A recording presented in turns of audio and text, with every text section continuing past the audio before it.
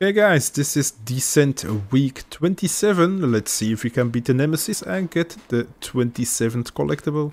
Here we go. Entering new room. Difficulty rating. Nemesis. Difficulty. Okay, let's increased. get in my corner. Nemesis. Hope we get lucky with the spawn.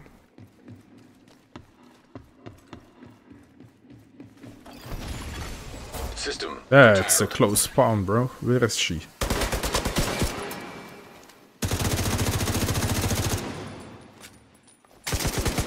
No, the- she has a turret, bro. Turret. It's a double turret. Nice.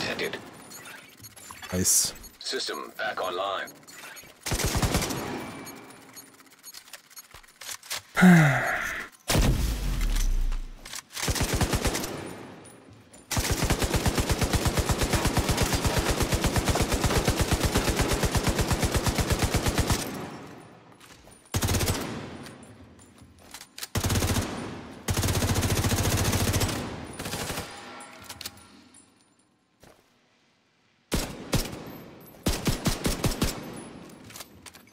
No, not the turrets again.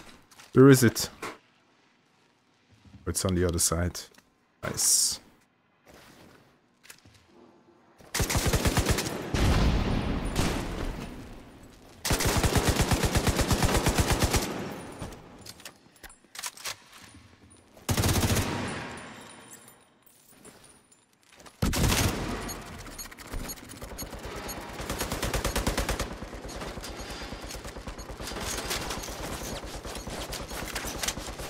When is it gonna explode? Yeah, thank you.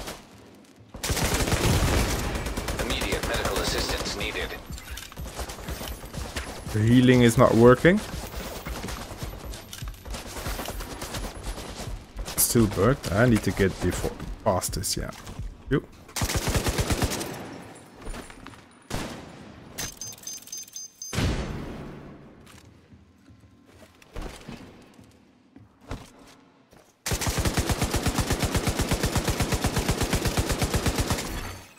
Simulation. Let's go. Terminated. Collating data.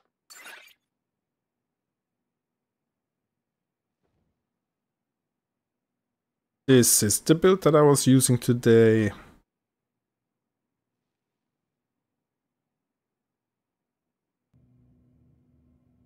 The holograms are not working as intended. We need a more stable power source.